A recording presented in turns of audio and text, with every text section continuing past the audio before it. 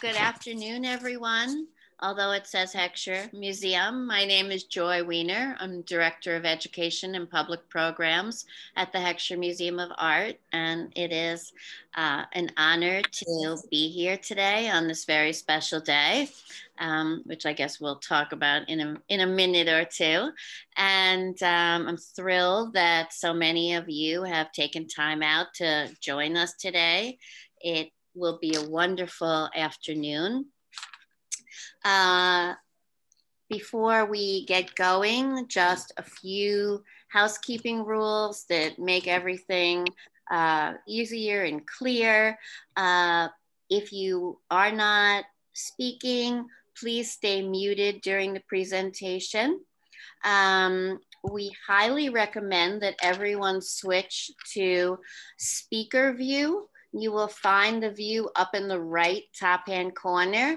And that way, whoever is speaking will be large on the screen and it will be excellent to be viewing the studio on a larger view. So make sure that you can find that. And um, what we hope to have happen today is kind of a, um, a somewhat fluid conversation with both Megan and Scott, Connie's uh, daughter and son-in-law. And they will be chatting with us. And from time to time Karli and i will uh, be asking them questions speaking with them we also invite uh, you if you would like to um, you if you have a question you can use the raise hand feature if you are on your laptop it you will find that under reactions or under participants. So you might want to take a look and see if you can locate the raise hand. It's a little, a little hand image. Um, when I see that, uh, when Megan or Scott are done speaking about a particular Megan, work of art, Megan, I will, um, I will call upon you to ask whatever questions you may have. You can also ask questions in the chat at the middle of the bottom. Um, if you do that, those questions, or as many as we can, will be answered following the tour during our Q&A. Um, does anybody does anybody have any questions? Yes. What What's the question? Well, I wanted to ask something about her earlier work. Okay, Bob, Yes. give us just Yeah. just let it. We'll let us get into it, and then your question may be answered before before you even ask it, or you can ask it along the way. But we'll get started. We'll get started first. Okay. Okay, very well. All right. So I have a question. Will Yes. Connie be uh, on the call today? I do believe that she will be here for uh, a moment for us. Wonderful. We have a surprise, an old friend that's on the Ah. call. Oh, Excellent. Okay. And Oh, then, um, so uh, someone is sharing their screen. Yes, let's just have yeah, it. you're screen sharing. I'm messing up everything here. No, Stop. no, it's fine. Uh, there you go. There I go. Um, it's funny because actually I'm going to share my screen Mhm. now. Um, hi, my name is Karli Wurzelbacher. I am the curator of the Heckscher Museum of Art. Um, happy to be here with you today. And um, I am going to share my screen so that I can briefly introduce Connie Fox and her work. And then I will introduce Megan and Scott, who are taking us through the rest of the program. Oh, I'm missing it. Okay. Okay, so um, we are holding this virtual studio tour today on the occasion of an exhibition that is physically on view at the Heckscher Museum called Connie Fox, the Sammy's Beach series. Um, many of you, I think, know Connie, uh, but I would like to introduce her anyway for those of you who don't. Um, so Sammy, the Sammy's Beach series is a remarkable recent achievement by Connie Fox, whose uh, career spans more than seven decades, which is what we'll be speaking about today. Connie Fox was born in Fowler, Colorado on this day in 1925. So this is her 96th birthday that we are celebrating with her today. Um, in the 1950s, Connie Fox attended graduate school and then taught at the University of New Mexico in Albuquerque. And there she met artists Elaine de Kooning and Robert Dash, who would later lure her to Long Island. Um, Connie Fox has lived in East Hampton's Northwest Woods for the last 40 years. Um, and her work is held in many museum collections, including the Albright Knox Art Gallery in Buffalo, New York, the Brooklyn Museum, the Museum of Art at the University of Lynchburg in Virginia, which very kindly lent their painting Sammy's Beach 2 to the museum. Um, uh, also the Guildhall Museum, the Parrish Art Museum, and the Santa Barbara Museum of Art in California. Um, and so to just tell you a bit about the Sammy's Beach series before we dive into today's program, um, Connie's recent Sammy's Beach series, uh, she started painting in 2007 um, and worked on the series through 2014. And the series is made up of large scale paintings and also works on paper that were inspired by uh, 30 decades, sorry, not 30 decades, 30 years of near daily visits to um, Sammy's Beach, which I'm showing you on the map here. Um, it's a tidal bay beach um, between Three Mile Harbor and Gardiner's Bay on the east end of Long Island. And if you haven't been there, uh, here are just a few mm-hmm. images of what this looks like. Uh, probably the greatest uh, research trip I've gotten to go on is to go to the beach several times in preparation for this show. Um, and to give you a sense of the paintings, if you're not familiar, this is uh, Sammy's Beach One uh, from 2007, a very large, um, massive painting currently on view at the museum. Um, this is Sammy's Beach 3 on loan to the museum um, and Sammy's Beach 4. Um,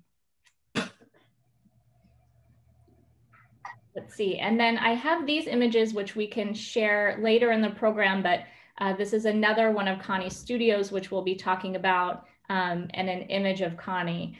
Uh, so with that, I'm gonna stop sharing. And I would like to introduce um, Megan and Scott. And Joy, are they, um, uh, me, so Megan and Scott, are you? They uh, should uh, be the large view right now. Right. Hi. Hi. Uh, are you, do you have your, your view on speaker view? Let's see. Okay. Yes. Yes. Okay. There we are. Okay, great. Um, so I am, again, many of you may know Megan and Scott. Um, some of you may not. So um, Megan Chaskey, who is going to be leading us around today, is the daughter of painter Connie Fox. And she is a poet, a musician, and a yoga therapies practitioner who has been teaching in all of these fields for decades. Um, and we'll be hearing more about the connections between Megan's work and Connie's work throughout the program today. Um, and Megan is joined by her husband, Scott Chaskey, um, who is a poet, a farmer, and an educator. And Megan and Scott were both a huge help, as was Connie, in, um, in enabling us to realize the Sammy's Beach series exhibition at the museum. So we really thank you for all of your help and thank you for hosting us today. So we'll turn it over to you. Hello, welcome. And I'd like to uh, now turn this over to Connie, who is here.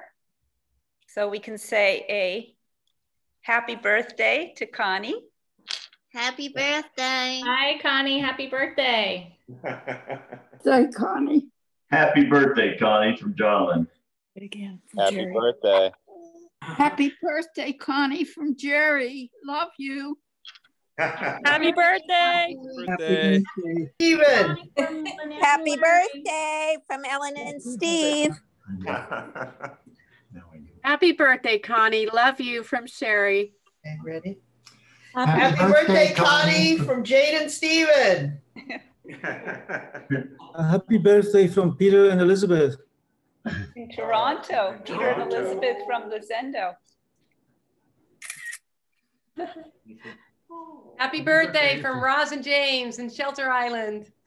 Nice, Yes, happy birthday. Leave it tears from Sag Harbor. nice.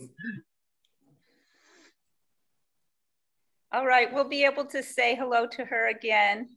Um, and I just wanted you to, to see that she's here witnessing and uh, so happy that this is happening on her birthday, her 96th birthday. And um, welcome to Connie's studio here in East Hampton, New York. And uh, what I'd like to do is start off by panning around the studio, and then we'll uh, move into looking at the paintings that we've hung to represent the different, different decades. And uh, so when you come into the studio, you enter through this door that comes from the main part of the house. That's the, the smaller door. The double doors uh, to the side go out to the deck. And uh, so when you come in that door, the first thing you see on your right is this wall, which um, normally has a lot of paintings stacked up against it because the painting wall that she uh, uses most for her large paintings is here. So when you enter that door, it would be on your right. And then you'll see her painting table with her paints. And she has this great method to have the different colors in these containers with the names of the colors written on the lids facing out. Um, we'll talk more about her materials later on. Then here, where you see the, the smaller paintings and the one resting on the stool, are the ones she's working on currently. And then, so this is another painting wall What? here. Just undo that. Oh, I love that one. And as we continue round, you'll see there are stacks where uh, she stores her smaller paintings and works on paper. There's Connie again. And you can see that uh, where she's sitting, above where she's sitting is a loft. And, um, and below the loft is where she has her desk and where she likes to sit and draw and paint so that she can be in the sun coming in through those beautiful southern facing windows. So we'll continue around here, beautiful ficus tree here. And then the steps going up to the loft. And then you'll see again those double doors that lead out to the deck. So that's the full pathway around the studio. I'm going to turn it around back again because we have this on a music stand. And now we're going to talk about the paintings. Uh, so uh, Connie came to visit Elaine de Kooning uh, here in uh, East Hampton before she lived here. And she and Elaine were looking around the neighborhood and they noticed a house for sale. And so Connie decided to buy the house. And uh, as they were looking at the house, Connie said, So where would I paint? Where, where would my studio be? And Elaine said, The whole house will be your studio. Well, the story of how this studio got built, because this did not exist uh, when that house was uh, first built, was um, Scott and I uh, went to Pittsburgh to stay with my mother in Sewickley outside of Pittsburgh. And um, yes, And uh, Scott was helping build some construction boxes and things for a show she was having. And we actually went, and it would be helpful if people could mute. It would be helpful if people could mute. Thank you. 1978. 1978. And so um, we went to help her move from Pittsburgh to here to East Hampton. And so we uh, loaded up all of her belongings. She's laughing. I'll show you as she's hearing this story. So you can see that it's not traumatic, it's just a story. and uh, we loaded up all of our belongings in a U-Haul van, including all of her paintings. And uh, we were getting ready to drive here. And the night before, someone stole the U-Haul van and drove it at a distance and couldn't get in because of a lock. And so they set it on fire. And long story short, uh, she, she uh, rescued most of the paintings, and one of them you'll see in the tour. And uh, the best part about all of this was that her insurance covered it, and she was able to build this studio. So that was the silver lining of that story. The phoenix rises out of the ashes. so uh, that picture that Karli showed earlier of uh, the Volvo in front of the railway station was her studio in Sewickley, Pennsylvania. It was in the railway station and it was owned by Dee Dee George, her dear friend, and they shared it as a painting studio. Here's the picture coming up again. And it was such an amazing place for a studio because it was, it had very large ceilings in the entryway and then several uh, rooms, waiting rooms on the sides. And they each had a place to paint, including Dee Dee had um, glass making equipment. And then you'll see on the left, there is Connie holding one of her colored Xeroxes which he started experimenting with at the time because the colored Xerox machine was just invented. And she loved the saturated color that they created. And she would use these uh, common uh, tools and uh, things from construction. These this, giant this is a virtual tour right now. Everybody's paying ten dollars for it. Actually, if you could please mute, it would be really well, I helpful. To join too. No, I mean, Excuse me, can you please mute? Of course, it's internet. You What are can talking go about? down into the lower Yeah, you left-hand can corner of Who's, your who's still, screen who's still talking? and press mute. Hi, everybody. So just a reminder to please mute yourself so that we can hear Megan and Scott. That's because- Karli. Hear her Yeah, voice in the yeah. background? Helen, is that there. you? Helen? Helen? Oh, I'm sorry. Yeah, mute yourself. Okay, thanks. So um, these are examples of the colored Xeroxes that she did. She would try them in different uh, saturations, different uh, hues.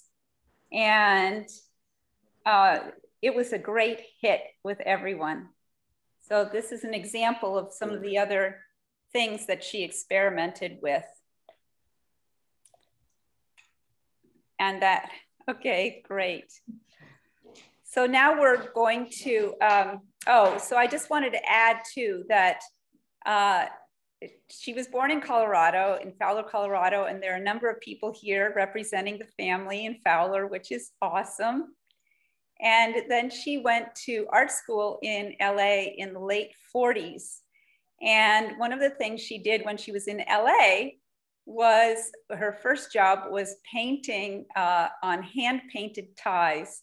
So the silk ties would go by on a conveyor belt and she would add some little different, um, she's laughing remembering this, um, some little aspect of the scene on the tie. And uh, so that's a, a favorite memory of hers that she likes to share about working in the hand painted tie factory. And then after um, that, in uh, 1950, she took a bike trip through Europe.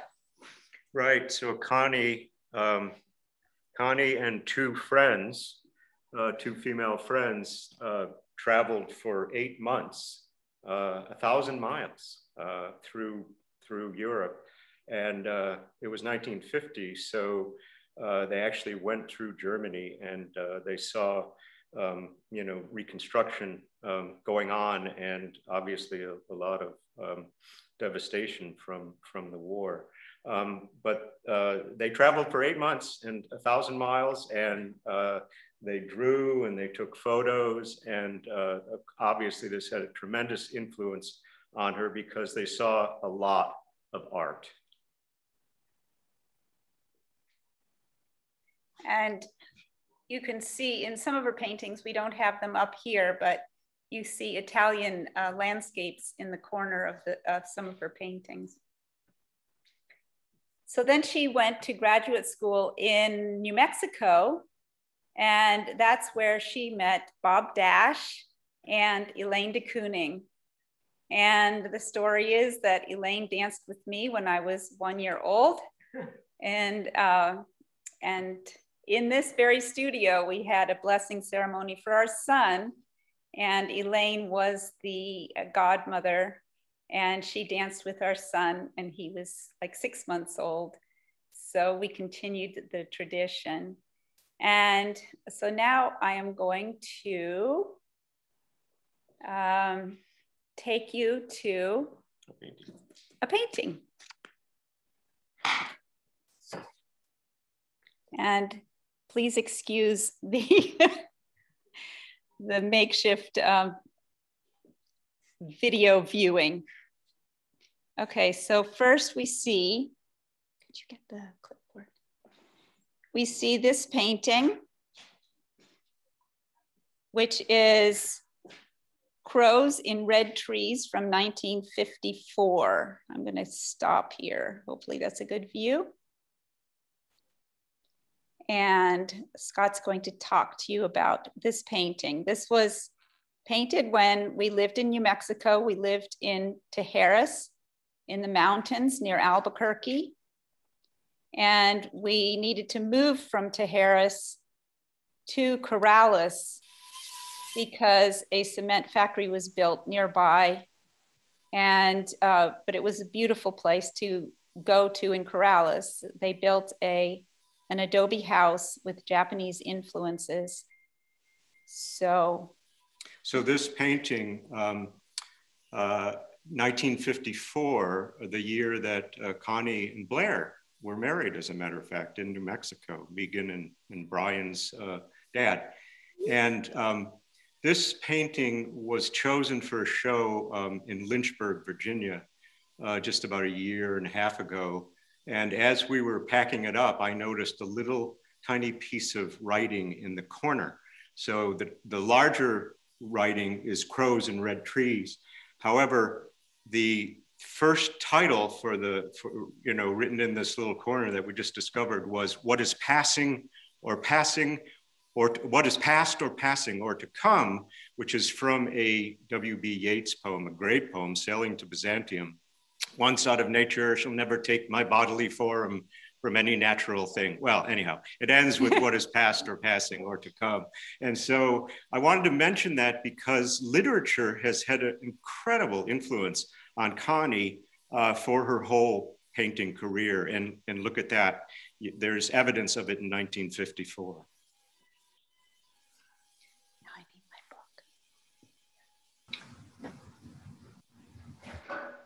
Also, I have to mention that crows are her favorite totem animal. So they've been that for a long time. We're passing the baton. Yes. Okay. Um, Good. There you go. So this painting, what was the date of this one again?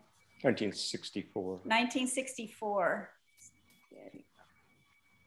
And this is called Steps Shell Moon Face. And this was a painting that was actually in the fire.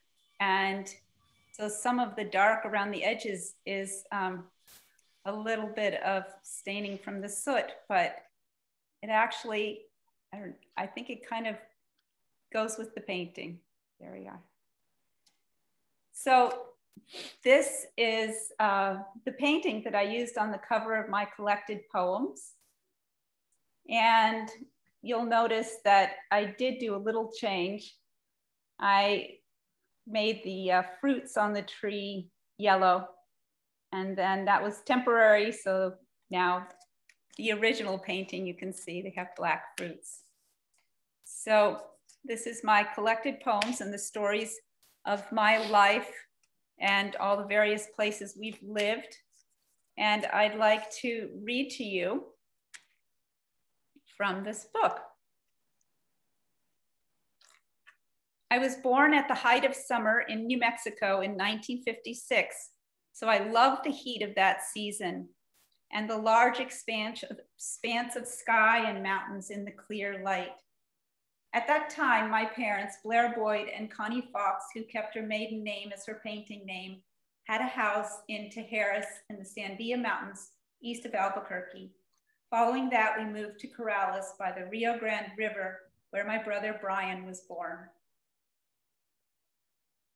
For five years, starting when I was seven, we spent the school months in Berkeley, California, and took the train back and forth to New Mexico each summer until I was 12.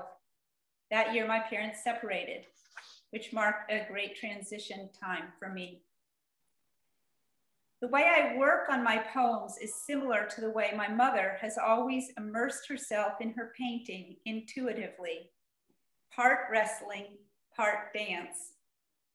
No matter where we lived or what form our fa family situation took, my mother's painting was always her lodestar as she navigated her life and this gave me an unwavering sense of the artistic process as the way to tap into the underlying life force throughout life's inevitable changes. I've also been deeply influenced by visual imagery through witnessing my mother's painting process as it evolved into abstract expressionism from her earlier imaginational landscapes. Landscape in abstract form has played a strong role in my mother's art all through her life. Whether we lived in California, New Mexico, Denmark, or on Long Island, and it has helped us both build a sense of place. She has titled several of her paintings with lines from my poems such as your lamp far back between the trees. I grow wings where no one can see, and this room is wrinkled with light. And uh, you'll see a couple of poems with titles from my poems later on in the tour. And let's see, I'd like to read you the poem that I wrote for my mother. I don't know what's happening. There's some kind of screen share. well, there we are. For my mother, Connie Fox, on your birthday, March 6th, 1983. So that would be when she was living here in Long Island. Uh, no, would have been when we were in England. We were in England. She we was here. England. She, she was, was here. here. We were in England. The land unloosed, awash beneath a strict sky. That earth whose dear markings, there, the mud cracked riverbed, specific cottonwoods, or here, lichened oaks at the edge of winter sea. As in your homeland, black cattle scattered on a white range. Unbend the spine of collected circles, Move that moment then into this primal space as if to touch finger to heart, a complicated purity of inner sight, brought perhaps in a difficult moment to the sight of a single crow perched just inside the supreme height of a tree. And there you see crows and red trees again. All right. Um, can you bring the stand? I'll just do it. Okay, we're um, carrying the laptop around. Hopefully you have a good view. So this, let's see, get this lined up nicely. This one is called Five Rainbows. And what's the date on this one again? Uh, 74, 1974. 1974. So this is an example from the 70s. Now, what's interesting is we were living in Sewickley, and in uh, 1972, uh, Connie took Brian and me to Denmark for a year in Denmark, which was an amazing experience. We went to stay at New Experimental College, it, which was part of a, a whole um, network of experimental higher education institutions. And we lived in an old farm area with just surrounded by uh, rolling fields. And because we were there in the wintertime, they were all covered with snow. So you can imagine a landscape with just uh, vast fields of snow.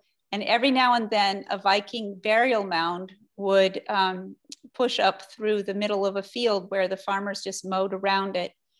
And when she was there, and I'm going to just fast forward over to this painting, and I'll come back to Five Rainbows. This painting was painted in Denmark, and she painted on pillow ticking, which is the fabric that they use for pillows and duvets so that the, um, it's very tightly woven so the feathers don't come through. And she found it was a really nice material to paint on. Um, and so she didn't have to gesso it and she could also just pin it to the wall. And so she was able to roll those paintings up and bring them back. So you can see in this one, it's got the aspect of the landscape, but you'll see that in the sky, there is this imaginational, uh, you know, extra addition of this face with the rainbow colors around it. And in Denmark, she started to uh, meditate and one of the things I've noticed in my life watching her painting evolve is that when she started to meditate, she started using more color.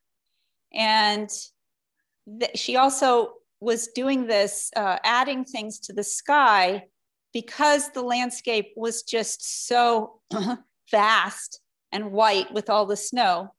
She started to add these things to the sky. So now I'm going to bring you back to this uh, painting, which is from 1974. And you can see that there is that um, imagination of the rainbows and starting to have other elements coming into the space of the painting. And at this point, I um, would like to open it up if there were any questions about the ones we've just seen before I go on, because then we're going to get into the decade, uh, the decades of the 80s. Maybe I should read my poem. Oh yeah, so Scott's going to read a poem that's related to a painting from this time. All right, so um, it is not, this poem is called The Painting. It is not this painting. However, many people on this uh, call know that there are a lot of paintings in this house and we were limited in what we could hang up. So anyhow, there are, this one is a cousin of the one that I'm, I'm reading the poem about. It's called The Painting and it begins with an epigram uh, by the 13th century Zen master, Master Dogen. Flowers are innocently fondled by the wind and birds trust freely to time. These are feats of giving Indeed, by reason of being originally gifted with the power of giving, one's present self came into being. The painting, and it's about a gift. The morning her daughter gave birth to a daughter, she came to the door, a formal visit with a gift of herself. See the New Mexican mountains where she lived with her first child, and her wild blood changed her conception into beautiful girl. She paints pinnacles and rainbows, place for wide water to fall and flow. If the moon rises, it cradles each peak with silver and sets an imagined blue stone. The powerful white tornado moves through snow crowns to name the distance as near. This is paint on paper, part of herself. With her body and brush clouds part, the moon carries away the essential, necessary mask of art, like surface of rivers, glides over an older face and selfless empties into a mother water. Beautiful. It's great to hear that poem with that painting next to you. Amazing. Maybe we could do the um, the stand now. Um, so did anyone want to raise your hand and ask a question at this point or um, we can keep learning from Megan and Scott. Okay, so I see one hand. Um, Ellen. Hi. Hi, Connie. Hi, everybody. Hi, Megan. Hi. Hi. Um, this is such a joy, such a feast of poetry and a feast of Connie's early work. Uh, I have a question. Are these early pieces oil? Hmm. All right, um, yeah, that's a good, good question. question. Um, look, oh, this is nice. I can just turn back to this. The um, she painted in oil in uh, in New Mexico, and then at a certain point, she uh, had you know a toxic reaction to oil paints, and also she was working with epoxy when she was uh, making more of sculptural kind of pieces. And so she chose to move to acrylic paints.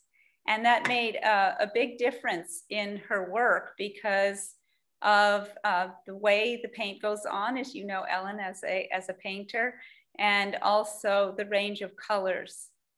So she moved to acrylics.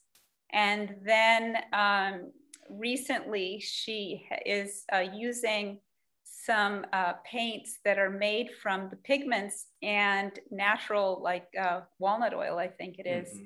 And her caregiver, Shelly, is mixing those paints for her, and you'll see some of these paintings later on.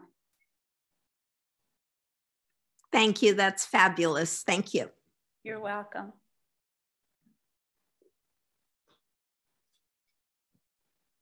There's uh, some sunlight right on that painting. That's interesting.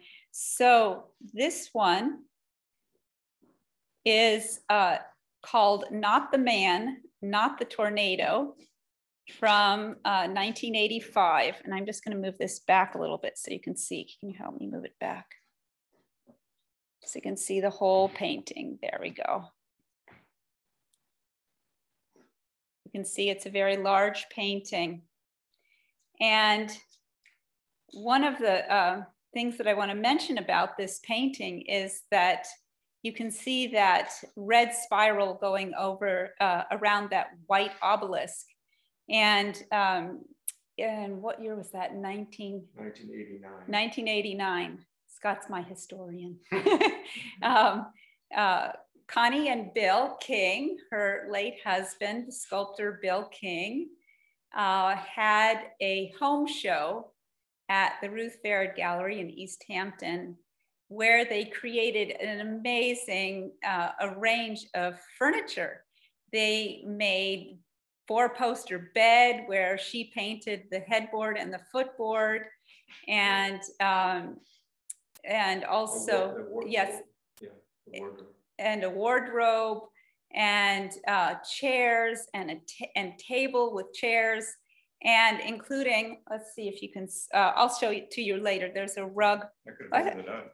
Want me to hold it up? i think i can just do this this rug here which is painted on canvas. Woo, there it is. And uh, Scott and I helped with this home show. We um, we helped build things, and I hemmed the edge of this rug, and I also sewed. No, it's okay there. And I also sewed for the four poster bed, which had columns that went up on each side of each corner of the bed out of PV, white PVC pipe. And my mother had me sew red velvet tubes that were stuffed. So they were three dimensional. They were beautiful. They were a lot of work to sew that red. She's laughing, remembering this. The, sewing the red velvet and then stuffing them. So it looked just like this in the um, painting. Beautiful. And then when we get round to the other painting wall, you'll see the rocking chair that Connie designed that was for that show. Now this painting is titled Not the Man, Not the Tornado. And we made a discovery. We were saying, Scott and I, that this was titled after a line from a poem of mine. And um, what's interesting is that we went uh, looking for the painting, uh, the poem so that I could read it to you. And actually the line is not the man, not the thunder. But it's great that she made it not the man, not the tornado, because in several of her paintings, she has the imagery of the tornado. Um, and in planning this whole tour, I was thinking about that title, Not the Man, Not the Tornado. And I had this insight that when we moved from California to Pittsburgh, and, um, and so I left uh, uh, Berkeley in a school and a teacher at the time that I really loved.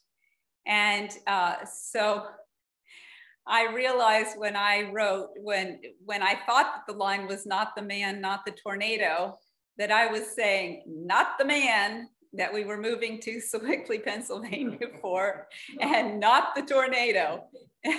anyway, you can see where that came from in my background. And um, I'm going to read you the poem, The Gargoyles Keep.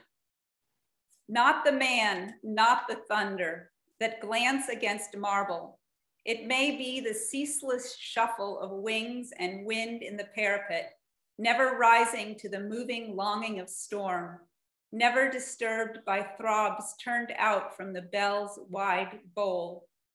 The stone, content to have no voice of its own, once in the season, may have a syllable forced inward into the narrow chamber by a sudden gasped gust at the right angle a whistle drawn inward against the teeth that then sends the breath trembling down the length like a tremor in the earth. The birds only turn their heads towards the sound and gentle it, beaks against sandstone angels, to drink in the power of flight with little quick white palpitations of their throats.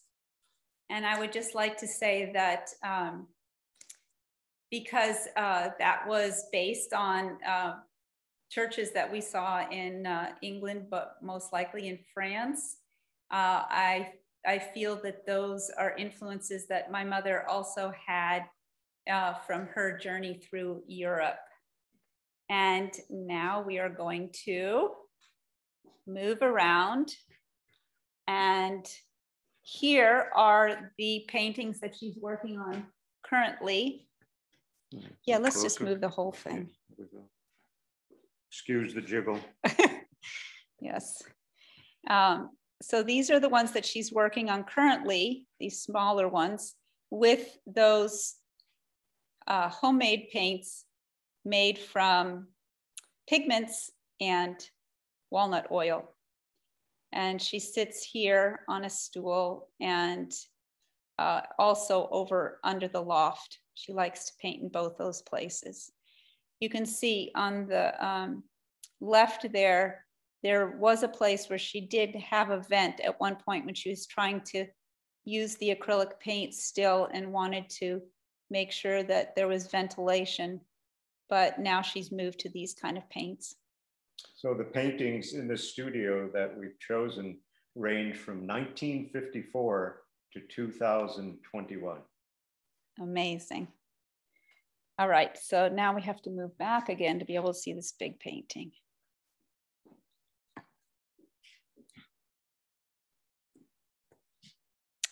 Very nice. okay, and this painting is from 1995, and the title is I Sense the Winds That Are Coming. And that again is a line from one of my poems. And I think it's appropriate to um, be looking at this painting also because uh, Connie always says that it's windy on her birthday because it's windy in March, but uh, today is actually a very still day, but we've had a lot of wind recently.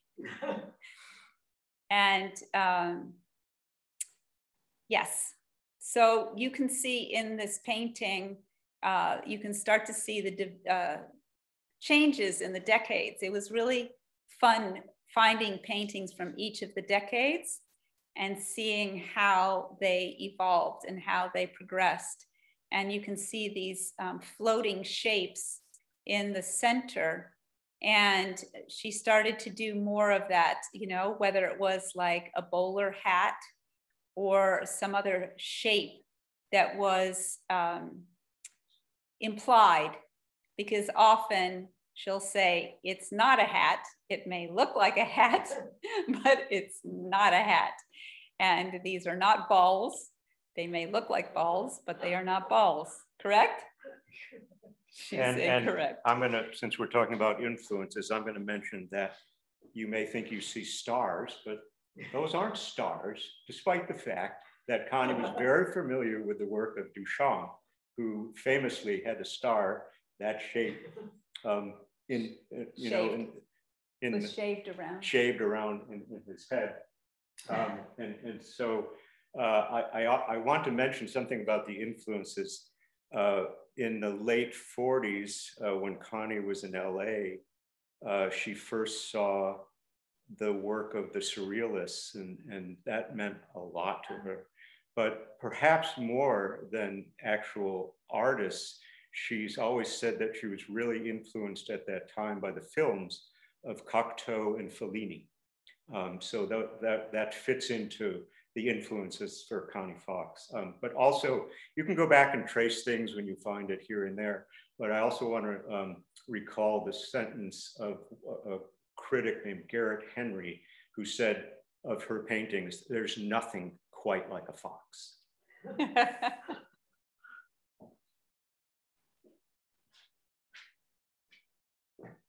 All right. You can also see, I um, you know, there are excellent um, articles uh, in her catalogs that that you can go back and uh, witness uh, a lot of um, insight. But I would like to mention that in this one, the plane of the painting really changes here in the 90s. All right, now we're going to move to, let's move it over so we can see it more directly. Good.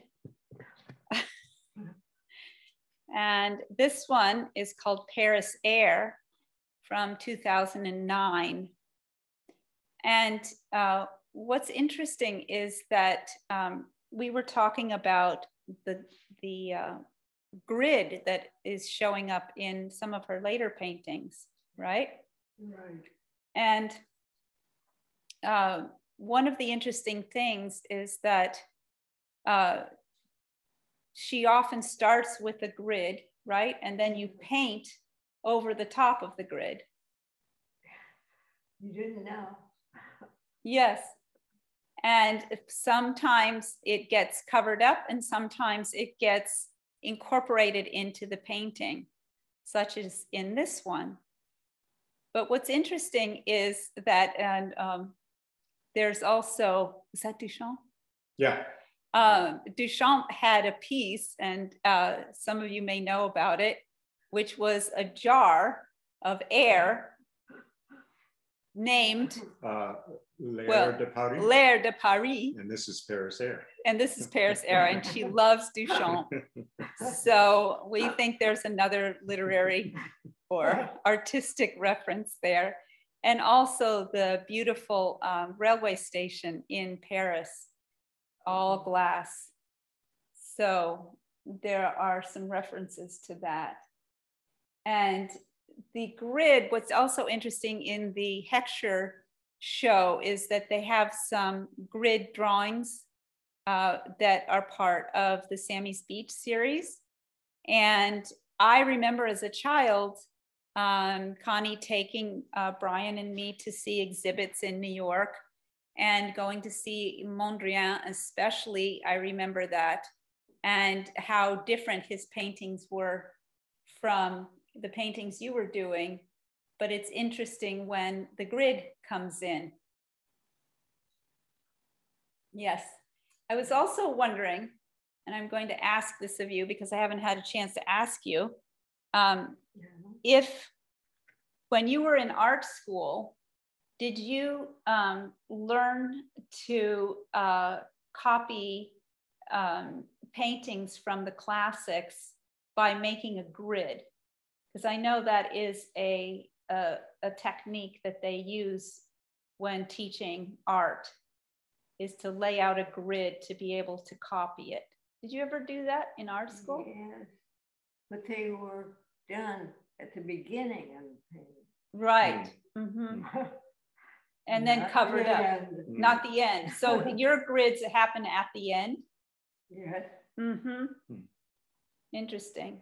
And also, do you feel like when you make the grid, does it help you to um, determine the space of the painting? Uh, I don't think so. No?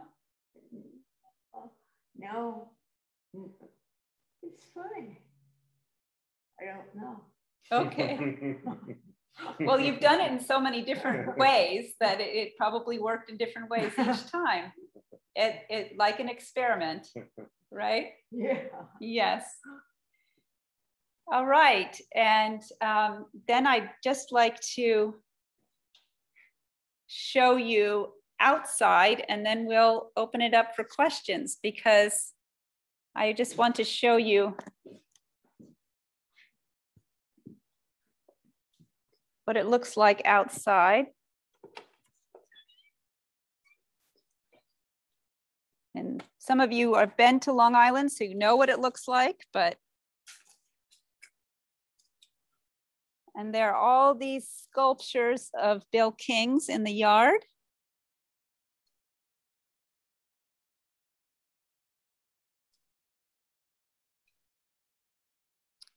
And I am going to step over here and see if I can take you to see the outside of Connie's studio.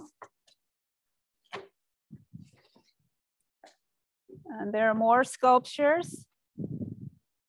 And there in the distance, I think you can see it, is Bill's studio.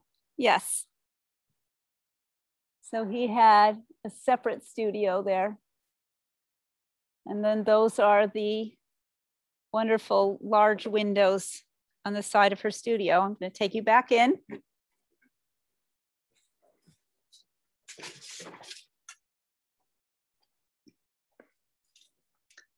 And I just wanted to show you this space here where she sits and draws. And that is where the picture was taken for the announcement of this tour and also where she sits for Zazen. And with that, we can go back. Oh, I should show you these. Self as Colette and Max Beckmann. Those are her drawings. And chair. and the chair. we need to show you the chair.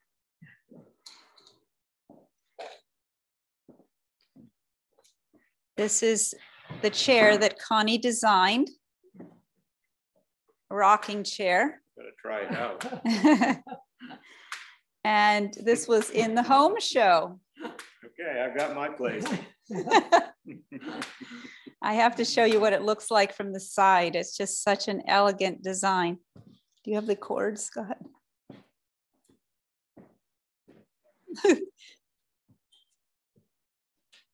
there you see the design of the chair, still rocking. Beautiful. Megan, did she actually uh, build the chair? No, she had it built. Mm-hmm. Okay. Oh, no. Oh, no. And is that leather on the? No, that is um, plywood, you know, a, a good quality plywood. Mm-hmm. And then the rest is metal. Mm-hmm.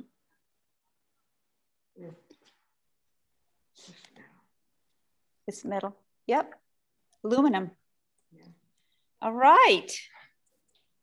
So thank you. That was that was awesome. I think we've all been holding in our questions and observations. Um, and also, you kind of read our minds. Some of the questions on the chat you've answered. so this is a great time to um, open it up and, and hear from the audience if there are any other questions, if you want to um, see any paintings again and um, or say hi to Connie again.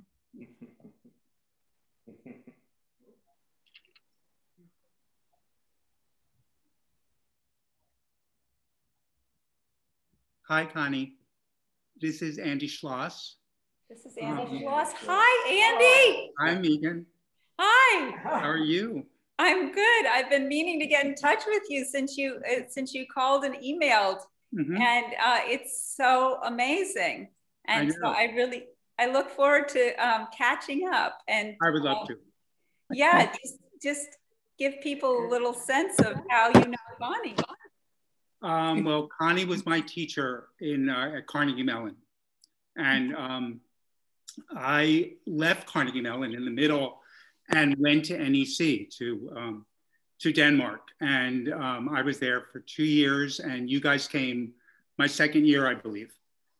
Um, and um, Connie was is saved me. Was a um, wonderful influence for me.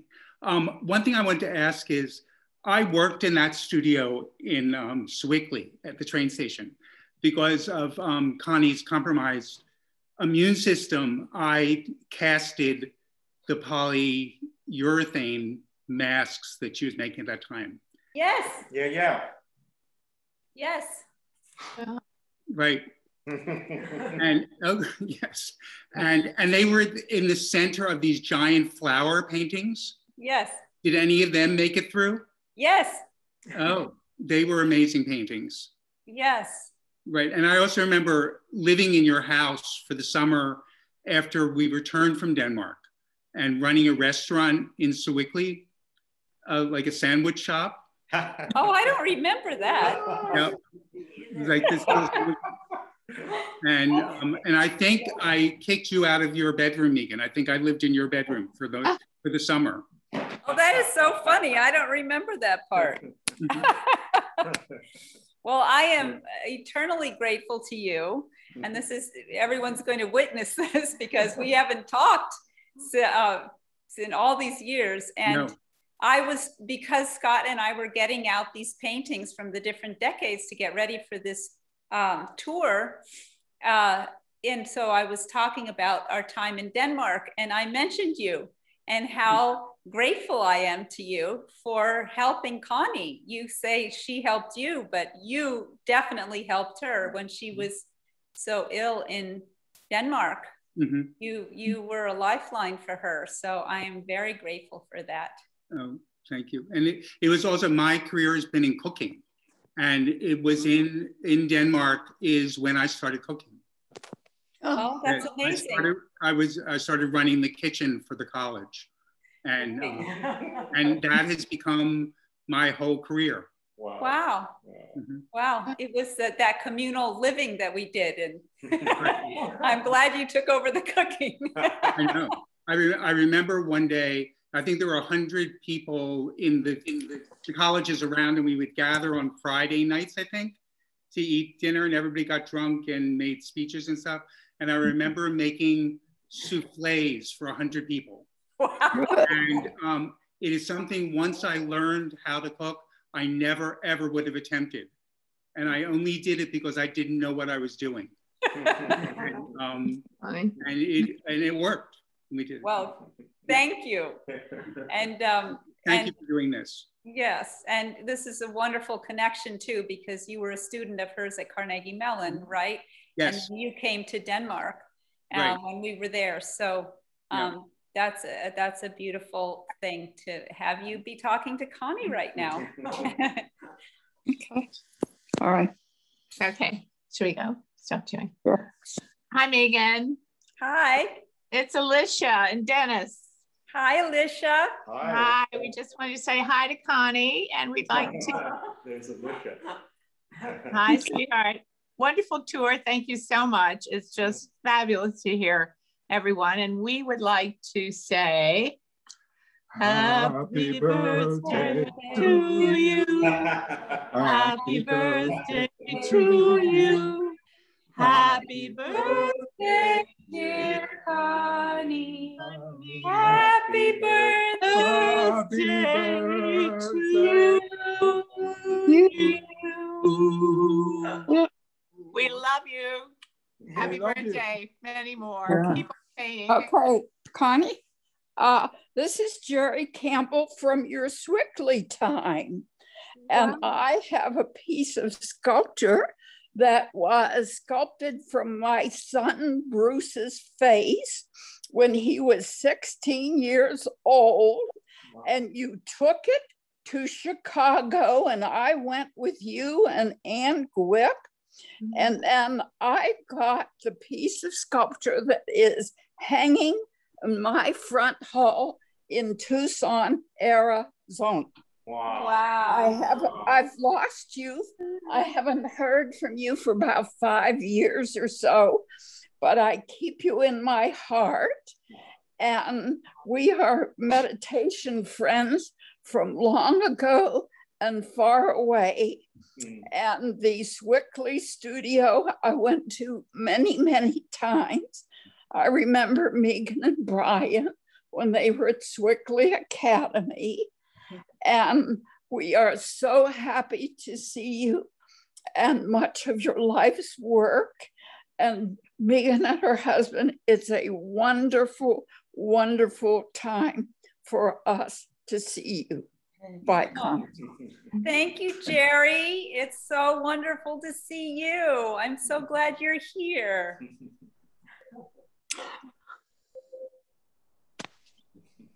Hi, Connie. It's your old buddy, Sarah.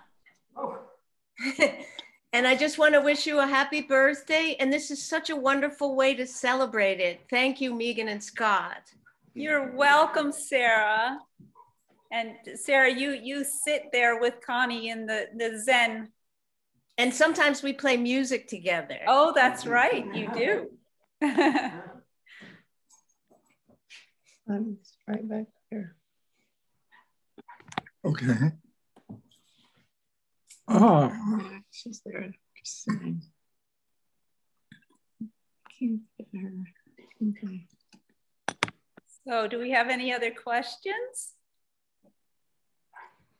And anyone who's spoken, if you can um, re-mute yourself, um, that would be helpful. Thank you. Yes, I would like to ask something, but yes. it's more a technical question. I'm Leaveteers. I'm living in Sag Harbor. Yes. And I saw much of Connie's work in the Parrish Art and in Guildhall and in books. But I'm thinking about her earlier abstract work, which is very fascinating to look at, very intense, and many different worlds of creativity go in it.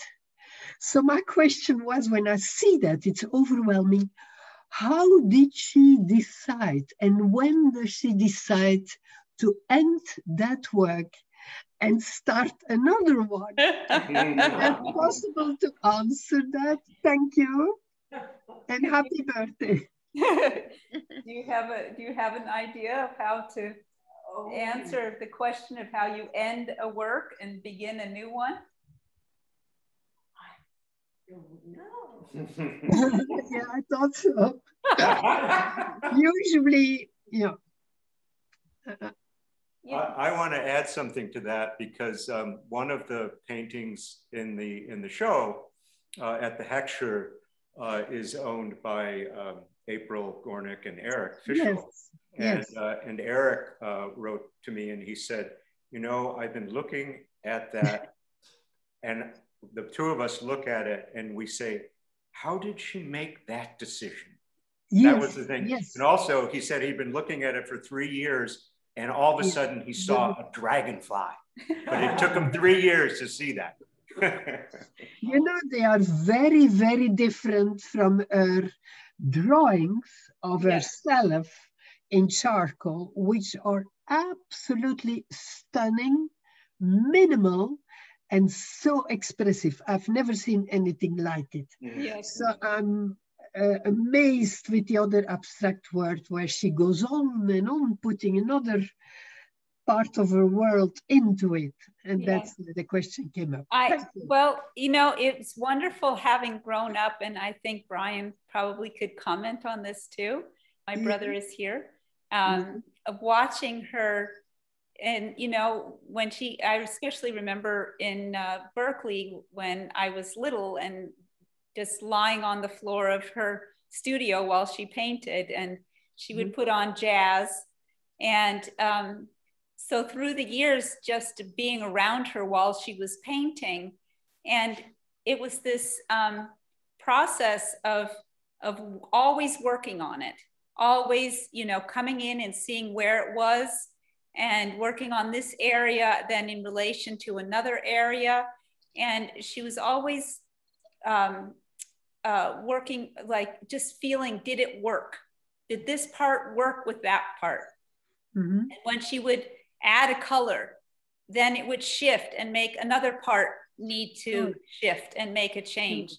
So, um, you know, it was that it's it was like when she was in the process, she was in the process. It mm-hmm. wasn't uh, an outside process. It was no, no, an inner process yes. of the painting evolving through yes. those all those different changes. And yes. obviously, she also brings in visual imagery from other places, and um, and so then that that gets woven into it.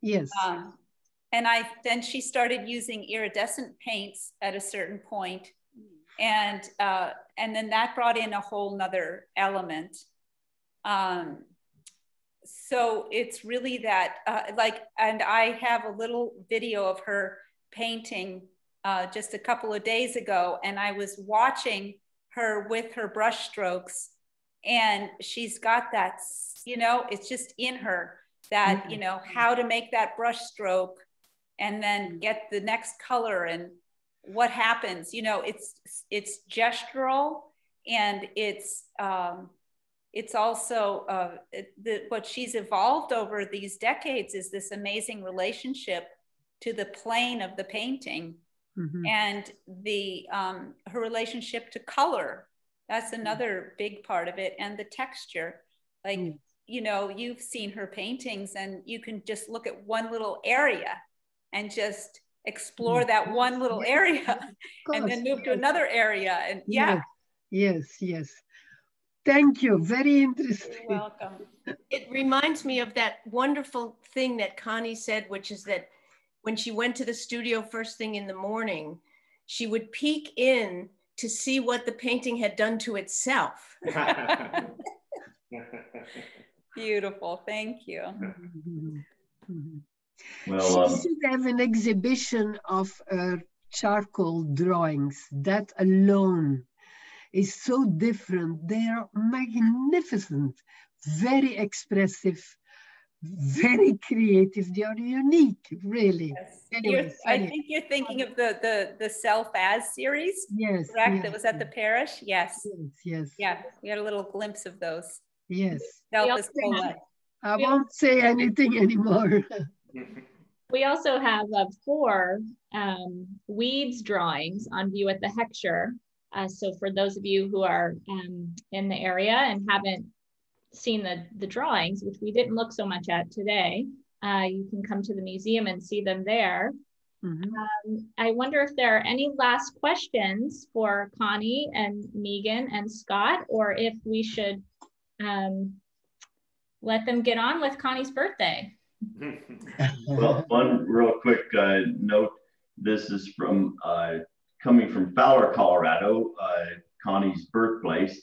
I'm her uh, her nephew, and uh, 33 years ago, she had painted a painting uh, for Sherry and myself as a wedding gift, and not 33 years to the date, but coming up 33 years. And uh, as it stood, we had it hanging in our house. We still do eh, in a different house now, but uh, uh, I studied it every day and it always was something different. And so I looked at that painting and it all came together for me. And I said, I called Connie. I it was it was like a revelation of what I thought was uh, my revelation. And I told her I could see the pews and the altar, and I could see the church, and uh, and that it looked like that exactly to me. She goes, I've never painted a church, so I'm like, I need to start all over again on my.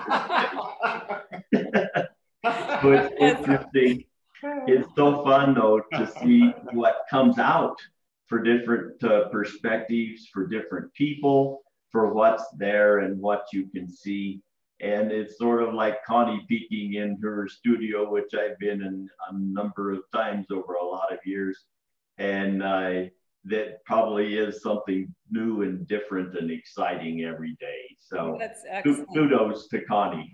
Yeah. And, uh, and we're very pleased to be having a this celebration for a, a, a very uh, glorious 96th, uh, 96th uh, happy birthday party. So. Yes. And on the back, it's it was in 1981. It was given to us in Christmas in 1990, and its title is Amalfi. Ah, okay. Yeah. Yes, the Amalfi Coast. and there's a wonderful comment here from Alexis Bruce. And uh, she says the painting tells her when it's finished. I've heard her say.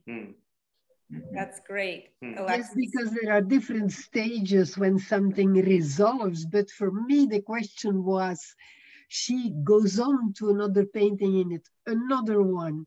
Mm-hmm. So is there a moment that she says, this is it?